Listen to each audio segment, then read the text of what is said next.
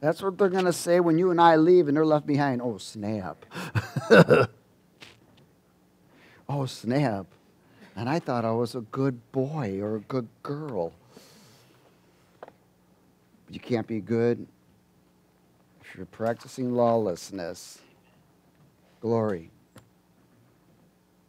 Hallelujah. Everyone say, I'm a warrior. I am a warrior.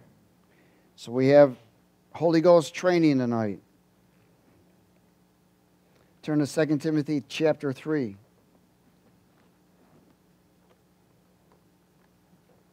We have entered the new season.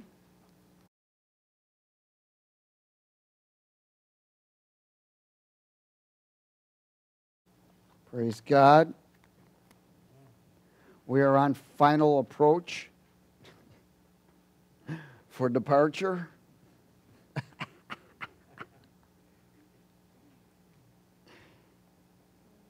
And Jesus is on final approach for harvest. We have entered the beginning of the final harvest. Isn't that awesome? Phenomenal. Blows me away that you and I are alive. We're alive. Why did God chose us to come? You can ask him that when you get home. Because I sure don't have the answer. I know he took the foolish and confound the wise, right? He took a bunch of boneheads and turned them into trophies. That's what he loves to do. Praise God. 2 Timothy chapter 3 and verse 1. Let's speak it, but know this in the what? Last, last days. Are we in the last days? Yeah, man. In the last days, perilous times will come. We can see perilous times. The reason for this perilous times, I've um, it, it really hit me because there is revolution going on. I don't know if you know about it, but I, Iran is trying to get liberate, liberated. The people.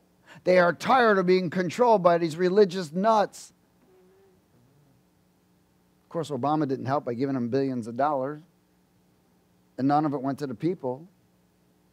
It went to every terrorist organization in their own cells. So they built more castles, bought more Rolls Royces, and called themselves holy.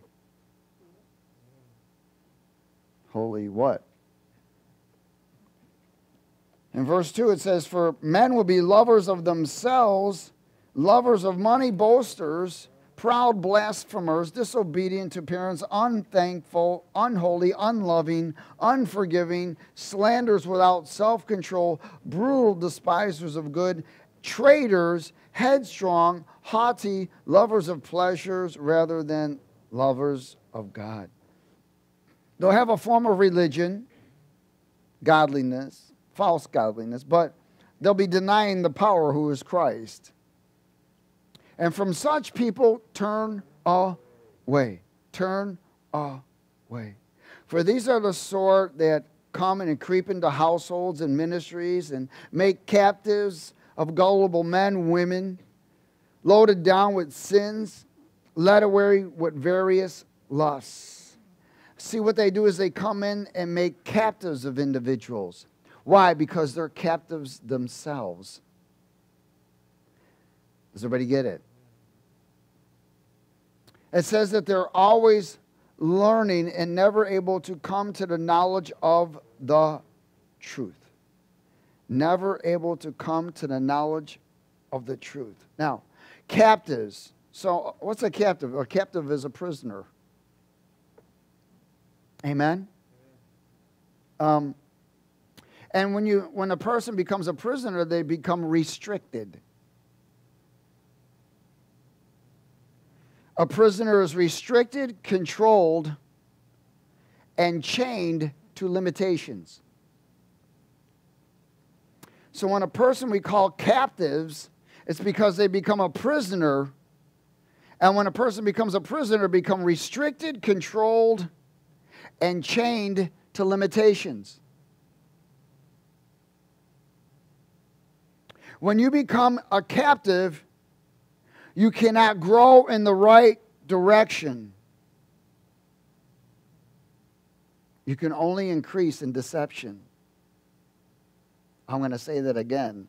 When you become a captive, you, can, you cannot grow in the right direction. You can only increase in deception. That's why they're called captives.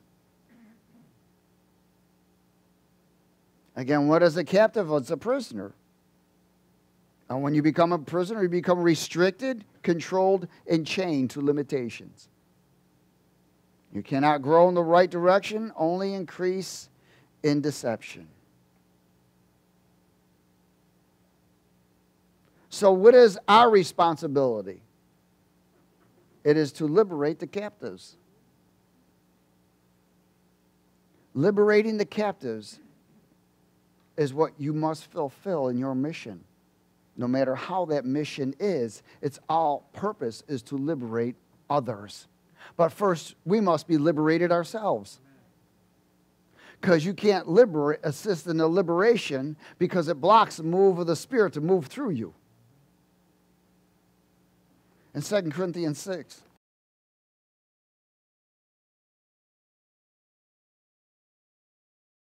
These are all fruits of people that have been taken captive traitors, headstrong, proud. 2 Corinthians chapter 6.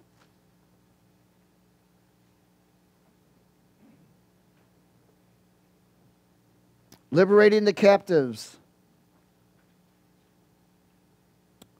That's what this whole new season is about, is liberating the captives. Why? So they can become a part of the harvest. In verse 11, O Corinthians, we have spoken openly to you. Our heart is wide open. You are not what? Restricted. Restricted. Restricted. Isn't that a part of captivity? Yes. You're not restricted by us, but you are restricted by your own what? Affections or your own desires. Whoa. Now, in return for the same, I speak to you as children. Why? Because they can't grow. You also be open. Do not be unevenly yoked. Now he's explaining to them listen, here's the problem. You're associating with people, places, and things, and they are influencing you that are keeping you captive. Do not be unevenly yoked with unbelievers. For what fellowship has righteousness with lawlessness? And what communion has light with darkness? And what accord has Christ with Belial? Or what part is a believer with an unbeliever? And what agreement has the temple of God with idols? For you are the temple of the living God, as God has said. I will dwell in them, I'll walk among them, I'll be their God, they'll be my people. If they do what? If they come out from among them. Why? Because he knows that they will be influenced. See, one of the things you don't want to do is just to hang around. See, in my life, I don't have friends, I have brothers and sisters. In the world, I have friends, but friends will betray. Amen? Because if they're not unplugged from the world, they're not your brother or sister.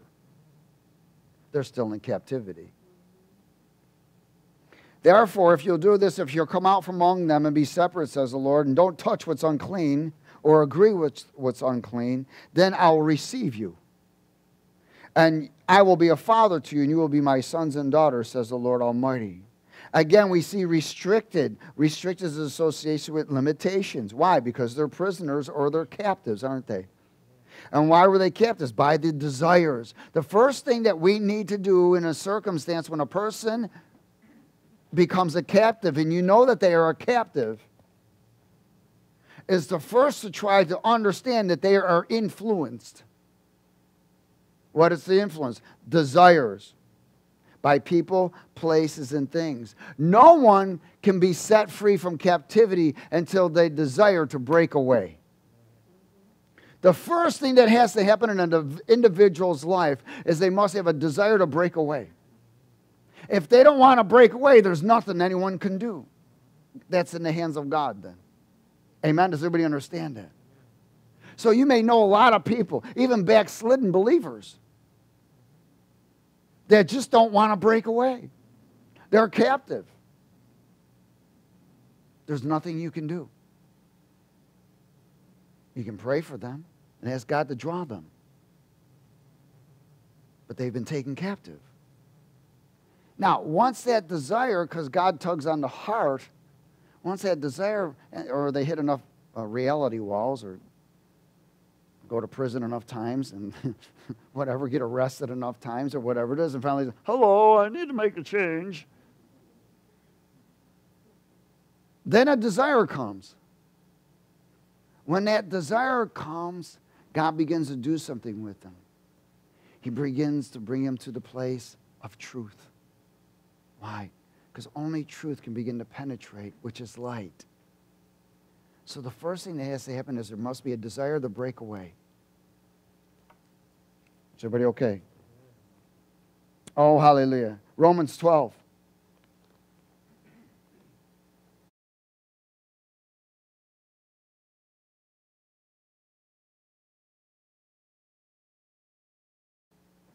But until they're not, now they may say they want to break away, they may say they want to change, but they're not doing nothing. They're in captivity still. Does everybody get it? Because if there's really a true desire to want to break away, they do something about it. Every one of us had to do something about it. Romans 12 liberating the captives. Is everybody there? In verse 1 and 2?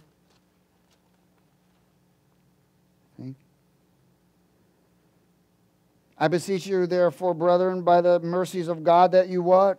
Present your bodies a living sacrifice, wholly acceptable to God, which is your responsibility or reasonable service. And do not be what? conform to this world, but be transformed by the renewing of your mind, that you may prove what is that good and acceptable and perfect will of God. Now, listen. First of all, there's a desire to break away. When a desire is there to break away, the mind or uh, of the thoughts says, ask the question of how to. How to. Okay, I want to do something now. How do I do it? how to. So there must be a, a place where an individual comes to of exchange, the thought patterns. In other words, the battle is so strong in the mind that there's got to be a desire to break away. And when that desire comes to break away, the question is always brought by the Spirit of God how do I change? How do I, how do I change my life? How is this done? And so there must be an exchange to change. So the individual begins to do something. Seek truth. Seek truth. Does everybody get that? What do they do? Seek truth. One of the questions they want to find out is who are they? Who am I? Why am I here? Where did I come from? Where am I going? Is this all there is to this? There's got to be more to this life that's been given to me. They have questions. You know why?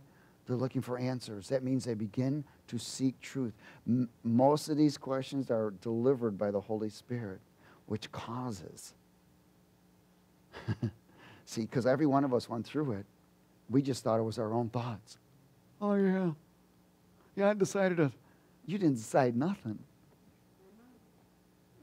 those influences was given to you by the Holy Spirit. If you wanted, if you once the moment you started changing course, that was the Holy Spirit saying, "Come on, I, I got some words for you. Who are you? I don't know. Who am I? Do you know where you are? No. Where am I? All of these things that, man, do you know where you're going? No. Where am I going? You know, we've heard about hell, we've heard about heaven, we've heard about all kinds of other foolish places. But we really didn't know. So that desire to know begins to increase. Not even, we're not even realizing these things are happening. And, and another thing begins to happen is you, you want to, you begin to stay away from certain things. You know what? I, Don't ask me why I don't want to do that no more. Why? Because truth starts to come in. When truth starts to come in, it begins to change. It begins to being light. You find yourself becoming satisfied with something besides sex, drugs, and rock and roll, besides fame, money, and everything else. You, you, there's all of a sudden a sense of, gosh, this feels good. I don't have to lie anymore. Because all of mankind hides behind lies, except for those that are walking with the truth. Then you begin to dislike lies. When I was an addict, I lied like crazy. It wasn't until the point where I realized after I had enough lumps, bumps, wounds, and everything else, prickers, been dragged through the bushes, hit enough bars, locked up enough times, paid enough fines, paid enough attorneys. I said, man, I need to do something about this. I want to change. Of course, the voice that came to me said, Show me. Show me you want to change. So God is always looking at that area. He, he implements these questions to you. And in these questions, you begin to seek an answer. Why? He's trying to liberate us. One of the things he's got to do through his word is liberate the captivity of the mind. That mind must be liberated because that's where the battle is. Because you cannot fight mind to mind with the enemy, you'll lose. You must have the mind of Christ. Oh, glory. So what begins to happen? The desire to break away will impact the mind of thoughts and the how to's and the questions to finally come to a place of exchange when we want to exchange the thought patterns by seeking truth. And you don't even know you're doing this, you're just doing it. Your first desire was, God, I got to do something about this. You didn't realize all of those questions stay in you. Who am I? Why am I here? Where am I going? How do I change? 2 Peter chapter 2.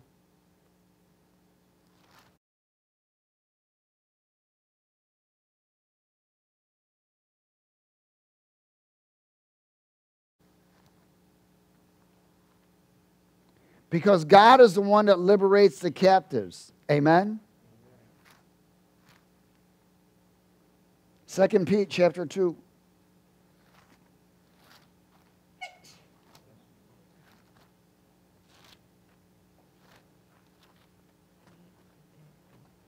Hallelujah. Second Peter chapter 2 and verse 1.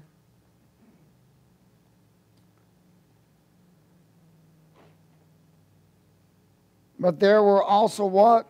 False prophets among the people, even as there will be false teachers among you who will secretly bring in destructive heresies, even denying the Lord who bought them, and bring on themselves swift destruction. And many will follow their destructive ways because of whom the way of truth will be what? Blasphemed. By covetousness, they will exploit you with deceptive words. Everyone say deceptive words. Why? Because the moment you begin to turn, the enemy begins to approach with deceptive words, deceptive thoughts. He tries to encourage you to go back to your past. Let me share something with you that never stops. Well, when's it going to stop? Never. Never stops. By covetousness, they will exploit you with deceptive words for a long time. Their judgment has not been idle, and their destruction does not slumber. For if God did not spare the angels who sinned but cast them down to hell and delivered them into chains of darkness to be reserved for judgment, and did not spare the ancient world, but saved Noah, one of the eight people, a preacher of righteousness, bringing in the flood on the world of ungodly, and turning the cities of Sodom and Gomorrah into ashes, condemned them to destruction, making them an example of those who afterward would live ungodly and delivered righteous Lot, who oppressed, was oppressed by the filthy conduct of the wicked. For the righteous man dwelling among them tormented his righteous soul from day to day by seeing and hearing their lawless deeds. Then the Lord knows how to deliver the godly out of temptations and reserve the unjust under punishment for the day of judgment. Wow. So the battle between the truth and deceptive words, we are constantly battling through education through social media, through false teachers, false professors. I see all of these professors, these college professors get on these news and get interviewed. They're morons. I don't know how they, they must have bought their, their certificate because I can't see how they earned it. No comprehendo. They're warped, most of them. So there's this battle between truth and deceptive words from education, advertisements, social media, false teachers, false professors, schools and colleges, and news medias, and all kinds of stuff, man. In verse 18, it says, For when they speak great swelling words of emptiness, they allure through the lust of the flesh, through lewdness, the ones who have actually escaped from those who live in error. So he's always trying to get you to come what? Back. While they promise them liberty, they promise them freedom. They themselves are slaves of corruption. For by whom a person is overcome, by him also he is brought into what? Bondage. False promises, enticing the flesh, puffing the soul to turn from the truth back into bondage. For if after they had escaped the pollutions of the world through the knowledge of the Lord and Savior Jesus Christ, they again entangled themselves in, in them and overcome, the latter end is worse for them than the, the beginning. So it would have been better for them to not have known the, the way of the righteous than having known it and to turn from the holy commandment delivered to them. But it is it is as it happens to them according to the truth proverb a dog returns to his own vomit, and a sow having washed of her wallowing in the mire.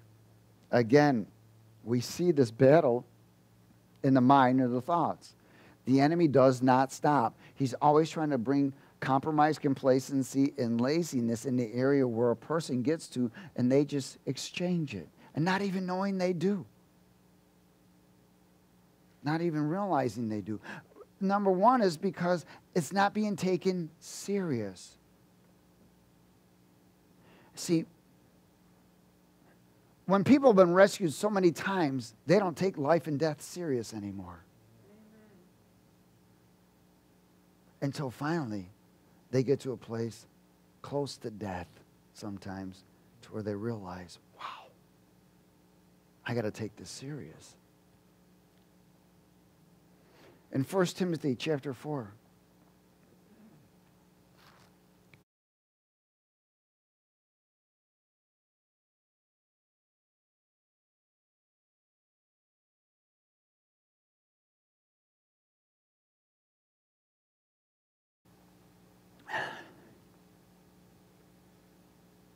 Hallelujah. Everybody there?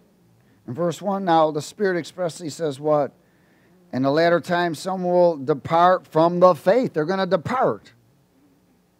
Giving heed to deceiving spirits and doctrines of demons. There it is, real simple. Speaking lies and hypocrisy, having their own conscience seared with a hot iron, forbidding to marry and commanding to abstain from foods which God created to be received with thanksgiving by those who believe and know the truth.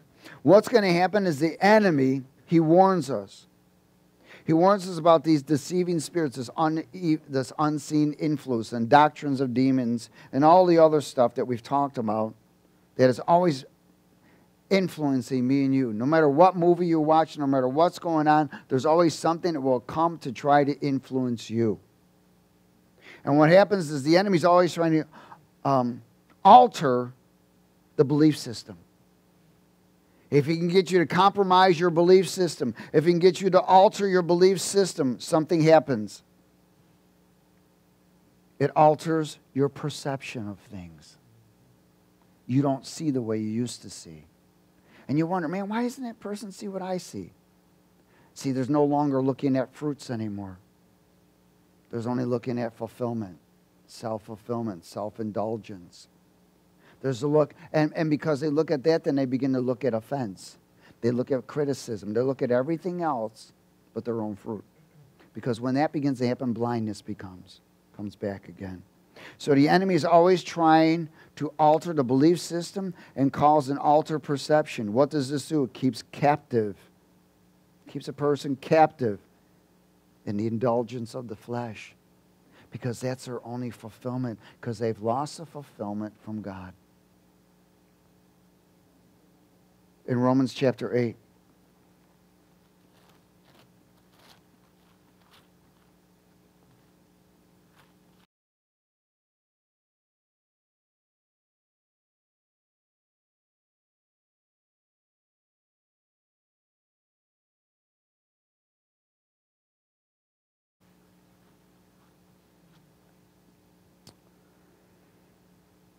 now that they're indulging in the flesh because they've been taken captive again.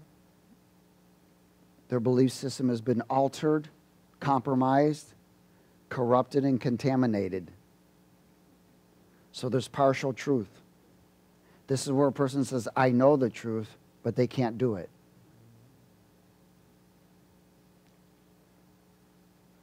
In Romans 8 and verse 12.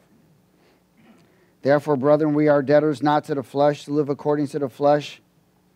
For if you live according to the flesh, you will what? You will die. But if by the Spirit you put to death the deeds of the flesh, you will live. For many, as are led by the Spirit of God, these are what? Are they okay? So when a person goes back into captivity, they're not led by the Spirit of God anymore. For you did not receive the Spirit of what? Bondage again to what? Fear. So you got to understand the enemy uses fear to bring an individual back into bondage or a captivity. But you receive the spirit of adoption by who you cry out, Abba, Father. The reason, the reality of adoption is because one of the things that begin to happen is your identity gets compromised. What gets compromised? Your identity. If he can compromise your identity, you've already stepped into captivity. Even though you know the truth. Does everybody get it? Even though you know the truth, there are a lot of people out there that are captives. They're in, living a life of captivity even though they know the truth. Hallelujah. Is everybody okay? It says, verse 16, that the Spirit Himself bears witness with our spirit that we are children of God. So, if you're no longer being led by the Spirit of God, there is no witness that you're a child of God. Why? Because you've lost identity, even though you know the truth. Captivity is taking place. And if children and heirs and heirs of God and joint heirs with Christ, if indeed we suffer with him, that we may also be glorified together. Again, the release of the spirit of fear into lives, individuals' lives, brings false protection and carnal reactions. It brings false protection and carnal reactions. What is it? Carnal reactions of anger, intimidation, oppression, unworthiness, low self esteem, and eventually suicide.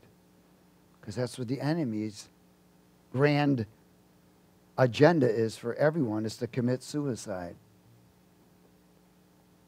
That's why you hear about it all the time. Look at how many people, when people overdose, they've actually committed suicide. Because everyone knows the chance they take. When they put that needle in their arm or they hit, do that hit or whatever it is, they know the chance they take. I knew every chance I took every time I went to get high. In fact, I used to ruin everybody else's. I'd say, God, if I die, take me home. Dude, what are you saying? I said, man, if I die, I want to go home. But the Lord said, no, you can't come home. And I still did it because I was in captivity. Even knowing that if I died, I didn't go to heaven. I was in captivity. Hallelujah. Second Timothy chapter 4.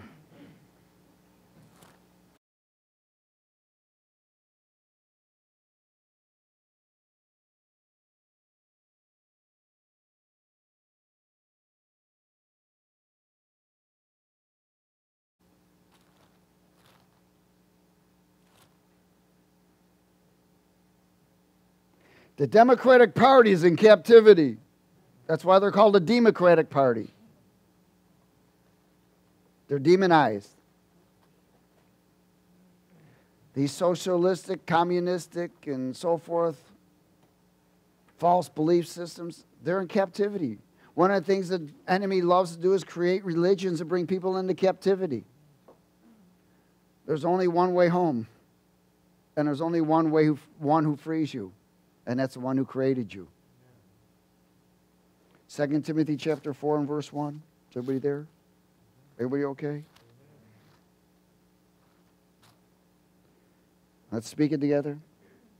And I charge you, therefore, before God and the Lord Jesus Christ, who will judge the living and the dead as his appearing and his kingdom. Preach the word. In other words, speak the word, man. Be ready in season and out of season. Convince, rebuke, exhort with long suffering and teaching. For the time will come when they will not endure sound doctrine. We are there. But according to their own desire. Why? Remember, the first arena that must happen is a person must break away from his what? Desire. He must have a desire to break away from captivity. What happens here is a person goes back into captivity because the desire has been replaced, and they don't even know it. They've compromised it. But according to their own desires, because they have itching ears, they will heap up for themselves teachers. Listen, I haven't seen one backslidden believer show up at church right away. Every one of them stays away. They stay away. Why? Because they know the truth, and the enemy's now beating them up with guilt, condemnation, fear, anxiety, stress, and all this other stuff. Eventually, he, he's actually trying to convince them to kill themselves because he's convincing them that there's no love there, there's this and that, they've disappointed everyone, and whatever. That's his job. And enemy does it well. He said they will turn their ears away from the truth and be turned aside to what? Fables, fables, lies. They're going to heap up themselves teachers. So they're going to associate with people. When a person usually backslides, they usually go around other backsliders or they seek them out. Why? Because they're trying to find false comfort.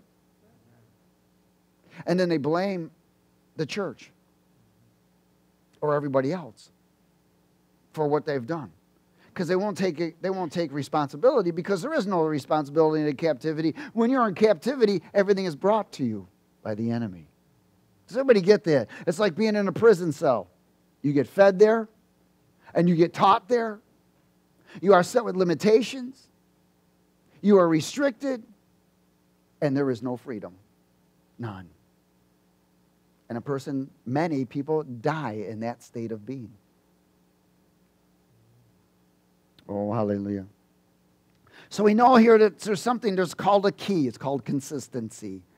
I guess we ought to call it consistent key. So a consistent key is to overcome the fallback. The fallback to what? Deceptive desires that come from flawed belief system, that it's promoting flawed perception, creating itching ears, a false appro- uh, false approvals. And what does it do? It brings back a person back into captivity. They fall into depression. They fall into all kinds of stuff. Woesy meesies. I'm the only one. Oh, the enemy's got them all snared up, feeding them. Why? Because if he's got you in captivity, you can't go nowhere. And so the only thing he does is keep feeding that person. Boom, boom, boom, Boom. Romans 8 18.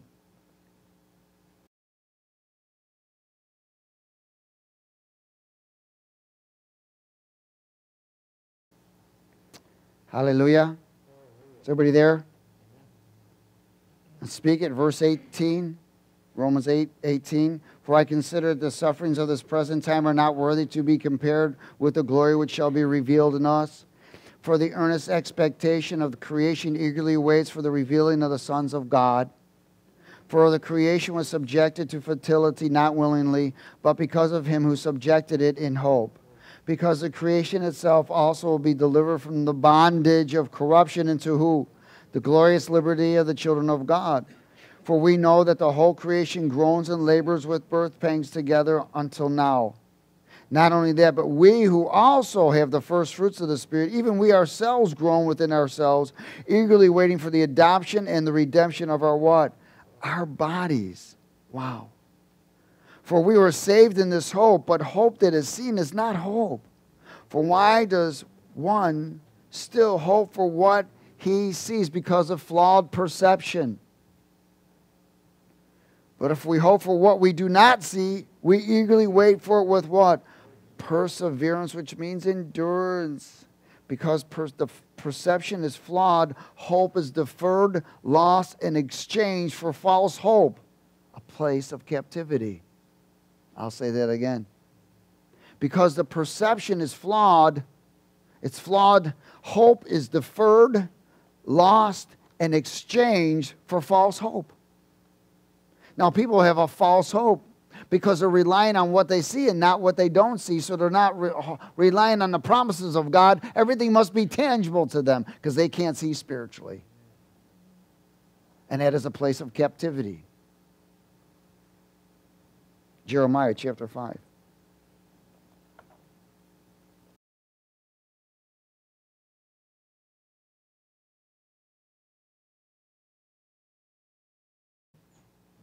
Addiction is nothing but captivity. Lust is captivity.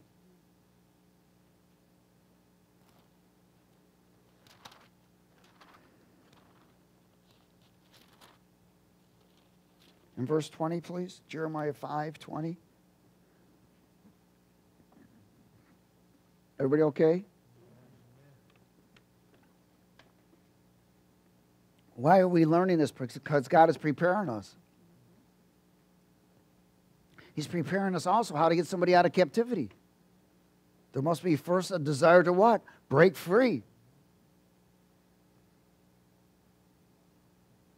And of course, people will lie. Yeah, man, I'm, I want to, I'm willing to do whatever it takes. But they really aren't. See, there's that tendency to use other people, manipulate to get by. That's called survival surrender, trust God, and says, man, whatever you got, I, I, this life is yours, not mine no more. You know, before my visitation from the Lord, I remember standing out there. And that's what I said to the Lord. I said, do something with this life. Take it. I didn't know you literally was gonna. Surprise. Verse 20. Declare this to the house of Jacob and proclaim it in Judah, saying, Hear this now, O foolish people, without understanding. foolish people are without understanding. Who have eyes and not, see not, and who have ears and hear not. Boy, we see that. Why? They're in captivity. They have eyes, but they can't see. They have ears, but they can't hear. Do you not fear me, says the Lord? Will you not tremble at my presence? Who has placed the sand as the bound of the sea by perpetual decree that it cannot pass beyond it. And though its waves toss to and fro, yet they cannot prevail. Though they roar, yet they cannot pass over it. But this people have a defiant and rebellious heart. They have revolted and departed. They do not say in their heart, Let us now fear the Lord our God who gives rain, both the former and the latter, in its season. Are we in the season of the former latter rain? Yes. He reserves for us the appointed weeks of the harvest. Oh, glory. Do you notice how that the former and latter rain is associated with the harvest? Your iniquities have turned these things away. So it stopped it, didn't it? So this prevented the former rain, latter rain, and the harvest to come because there was lack of repentance. Your sins have withheld good from you. Your iniquities have turned these things away, and your sins have withheld good from you. For among my people are found wicked men. They lie in wait as one who sets snares. They set a trap, they catch men as a cage of full birds. Oh, that's the captivity, isn't it? It's a cage of full humans or bird brains. Even Sweepy's smarter than them. So their houses are full of deceit. Therefore, they have become great and grown rich. They have grown fat. They are slick. Yes, they surpass the deeds of the wicked. They do not plead the cause, the cause of the fatherless, yet they prosper. And the right of the needy they do not defend. Shall I not punish them for these things, says the Lord? Shall I not avenge myself on such a nation as this? Of course, He will. of course, He will. Wicked is a representation of stewards of darkness. Wickedness. Wicked individuals are called stewards of darkness. They enslave mankind, reject by causing mankind to reject the escape of captivity with truth. Again, they give them religion to keep them in captivity, but they don't give them the truth that releases them from captivity. That's why you see all this religious stuff going around. Hatred is behind most of the religiosity or false humility. But people are now in demon management and not in freedom. 2 Peter 2 12.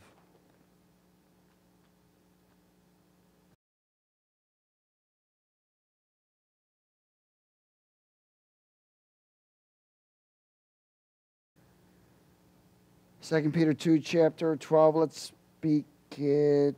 Uh, hallelujah. I'm going to go to J, uh, yeah, Second Peter 2, chapter 12. Okay. But these, like brute, nat, uh, natural brute beasts, made to be caught and destroyed, speak evil of the things they do not understand, and will utterly perish in their own corruption, and will receive the wages of unrighteousness as those who count it pleasure to carouse in the daytime. They are spots and blemishes, carousing in their own deception while they feast with you, having eyes full of adultery. And can't, they cannot cease from sin, enticing unstable souls Man, they know when a person is unstable. That person that's unstable is in captivity, double minded, multiple personalities. They have a heart trained in covetous practices and are accursed children. They have forsaken the right way and gone astray, following the way of Balaam, the son of Beor, who loved the wages of unrighteousness but he was rebuked by his iniquity. A dumb donkey speaking with a man's voice restrains the madness of the prophet. These are wells without water, clouds carried by a tempest, for whom is reserved the blackness of darkness forever. For when they speak great swelling words of emptiness, they allure through the lust of the flesh, through lewdness, the ones who have actually escaped from those who live in error. Well, they promise them what? freedom or liberty, they themselves are slaves of corruption by whom a person is overcome by him. Also, he is brought into what? Bondage. Bondage. Again, enticing unstable souls. These are unconverted souls because they're unstable. There hasn't been a full conversion yet. They are not able to stand because of the lack of abiding. They are self willed, they're prideful, and they are arrogant. And they are in captivity. They pride themselves on themselves. They don't give glory to God. They pride themselves on themselves. This is what I can do. Look what I've done. It's the I syndrome. Lucifer fell into that. God kicked him out.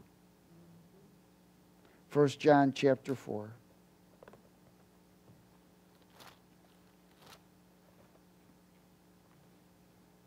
Oh, this is all preparation. 1 John chapter 4, verse 17.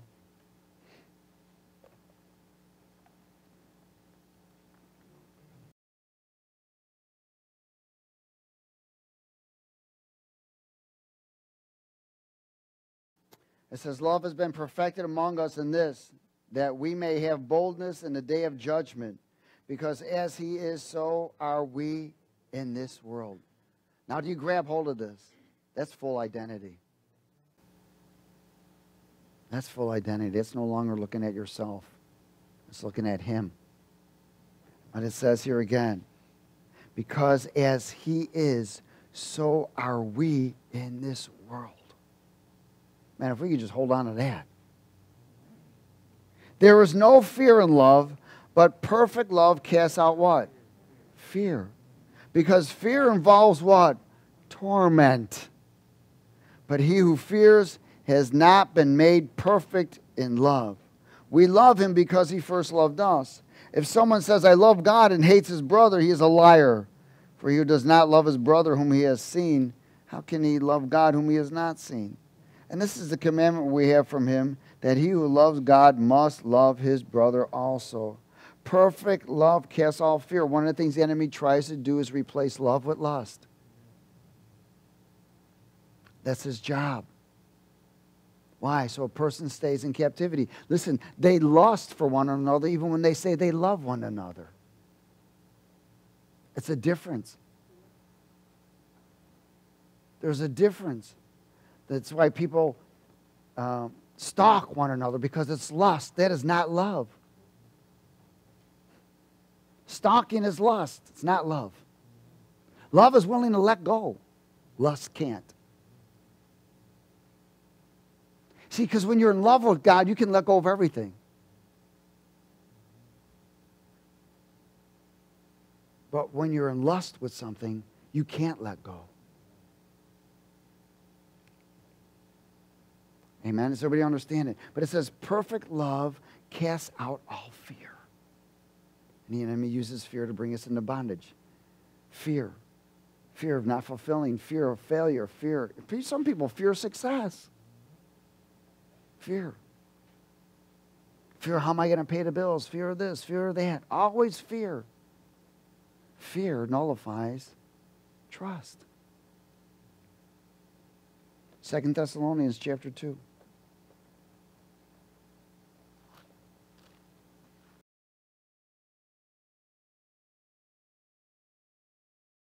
These are areas where we've got to look at. Remember, what's the first thing we want to be able to do with an individuals is to influence them that they have a desire to what? Break away.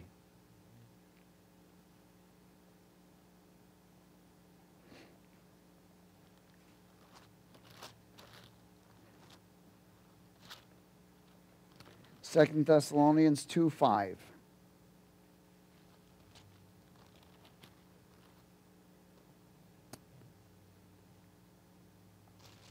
Okay. Is everybody there? Let's speak it. Do you not remember that when I was still with you, I told you these things? And now you know that what is restraining, that he may be revealed in his own time. For the mystery of lawlessness is already at work. Only he who now restrains will do so until he is taken out of the way. And then the lawless one will be revealed. So you got to remember something. This is powerful because people are it's all, all kinds of crazy thoughts about this. And I truly believe in all, with all of my heart that he is speaking not only the Holy Spirit, but the body of Christ that is here restraining. Because it's the Holy Spirit that uses the body of Christ to restrain. And it says here, when we are taken out of the way, that the lawless one will be revealed. Somebody get it?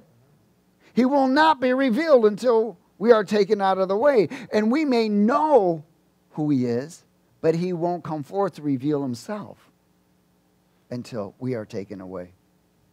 He can't because we are the restrainers. Everyone say, I'm a restrainer. says, Then the lawless one will be revealed, whom the Lord will consume with the breath of his mouth and destroy with the brightness of his coming. The coming of the lawless one is according to the working of Satan with all power, signs, and lying wonders. For me and you, it's important that we understand this. And with all unrighteousness, deception among those who perish. Why? Because they did not receive the love of the truth, that they might be what? Saved. You and I must love truth. We must love the truth. If you don't love the truth, then you're in captivity. Because only loving the truth keeps you out of captivity. Look at this, what happens? Okay, because they rejected the love of the truth. They didn't receive it, they rejected it, and what happened? For this reason, God will send them what? Strong delusion. Will that keep them in captivity? Yes. That they should believe the lie. That they all may be what? Condemned, who did not believe the truth, but had pleasure in unrighteousness. They're doomed. But we are bound to give thanks to God always for you, brethren, beloved by the Lord, because God from the beginning chose you for salvation through the sanctification by the Spirit and belief in the truth and love of the truth, to which He called you by our gospel for obtaining of the glory of our Lord Jesus Christ. Therefore, brethren, stand fast and hold the traditions which you were taught, whether by word or by epistle. Rejecting the love of the truth, because they didn't love truth. They were in captivity. Remember, truth says it sets you free. You must practice. See, you can know the truth but still be in captivity. It's not until you put truth into practice that you can come out. It's like a key. You may have a key but not use it. And not until you use it can you open the door. That's what John 8 says. Let's go there for a second. John 8. John chapter 8.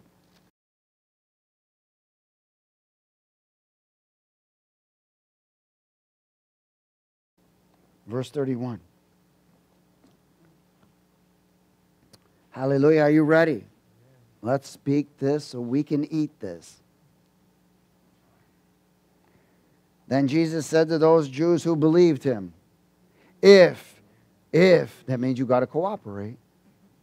If you abide in my word, you are my disciples indeed. So there's a maintaining, isn't there? Constant.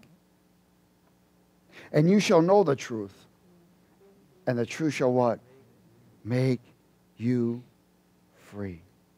They answered him, We are Abraham's descendants and have never been in bondage to anyone. Or were they deceived?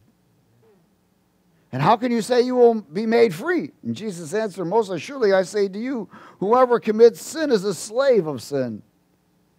And a slave does not abide in the house forever, but a son abides forever. Therefore, if the Son makes you free, you shall be free indeed. I know that you are Abraham's descendants, but you seek to kill me because my word has no place in you. Even though he spoke to them, even though they knew about all, they rejected it because they were in captivity. The love of God Almighty was manifested right in front of them. He radiated love, but their hearts were so hardened they couldn't accept it. They were so bound by religiosity and traditions of men. Anyone that came against their traditions was cast out, counted a blasphemous, needed to be killed and murdered because they had a different opinion. It's called religiosity. Amen? Oh, hallelujah. Let's go a little further here. Let's go to uh, that, uh, John 14.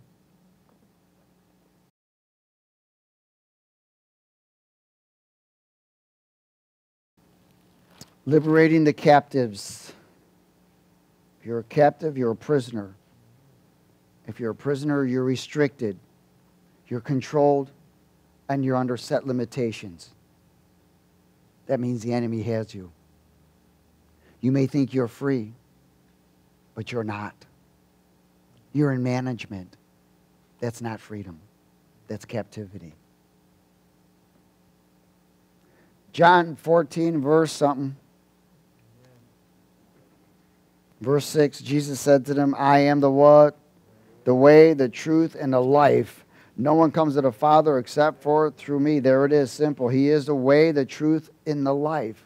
One of the things we want to be able to do again is to get an individual to change the desire to break away. What we do then is we bring them into the place of truth. The next thing, once truth does, it leads a person into God's presence. Does everybody get it? Without truth, you won't be led into God's presence. So that's why the Word of God is always leading you into God's presence. It's not only feeding you, but it's leading you. And once you get into God's presence, there's a tremendous exchange, there is fulfillment. Ephesians chapter 2, and then one more scripture.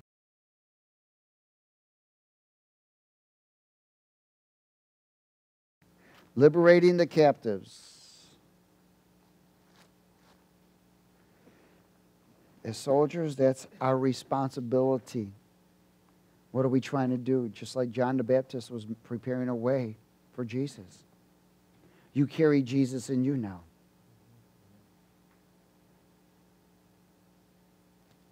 So that's why the Christ in us is greater than he is in the world. We can do all things through Christ who strengthens us. So that Jesus in you wants to touch somebody. The Jesus in you wants to love somebody that hasn't been loved. The Jesus in you wants to comfort someone that hasn't been comforted.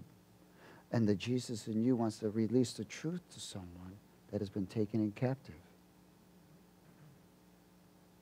Verse 4. Ephesians 2, verse 4. Let's speak it. But God, who is rich in mercy because of his great love with which he loved us, even when we were dead in our trespasses, made us alive together with Christ. For by his plan you have been what? Saved. That's what grace is. It's God's plan of escape and raised us up together and made us sit together in heavenly places in Christ Jesus, that in the ages to come he might show the exceeding riches of his grace and his kindness towards us in Christ Jesus. For by grace you've been saved through faith, and that not of yourselves, it is a gift from God, not of works, lest anyone should boast. For we are his workmanship created in Christ Jesus for good works, which God prepared beforehand that we should walk in them. You can't walk in them if you're in captivity. Again, many people are in captivity and don't even know it. They don't even know it. 2 Corinthians chapter 3.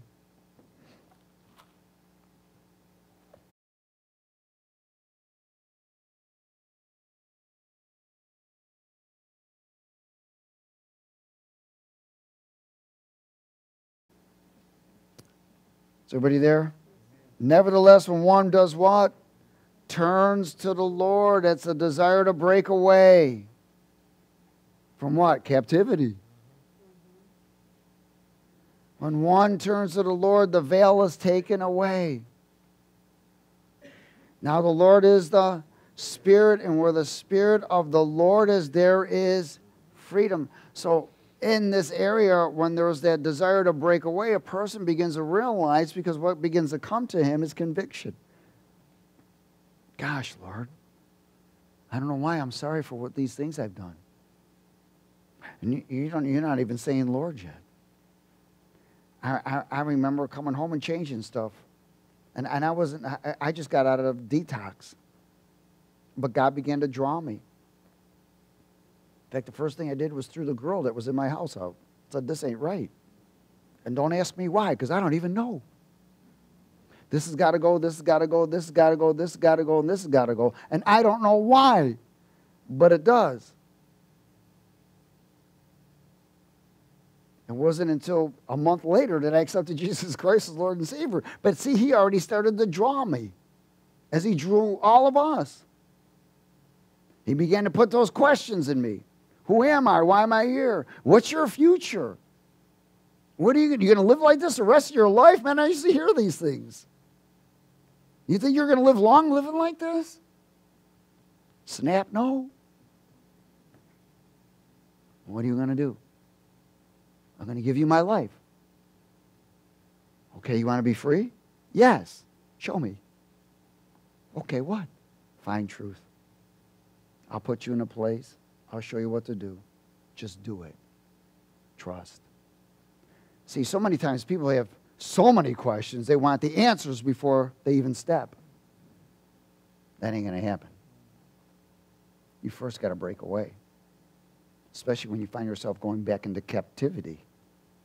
Captivity of the mind, going back into fear. Look at the enemy will use whatever he can to bring you back.